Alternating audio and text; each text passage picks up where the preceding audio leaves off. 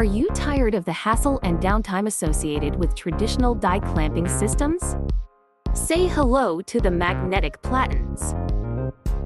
Magnetic platens provide uniform clamping force on the die, ensuring consistent and high-quality output.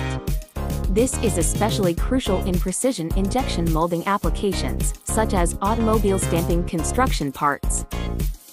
Take this 110T punching machine for instance. It is for automobile stamping construction part manufacture and uses magnetic platens as die clamping system. With the reliability, speed, and precision that magnetic platens offer, the manufacturing processes is taken to the next level.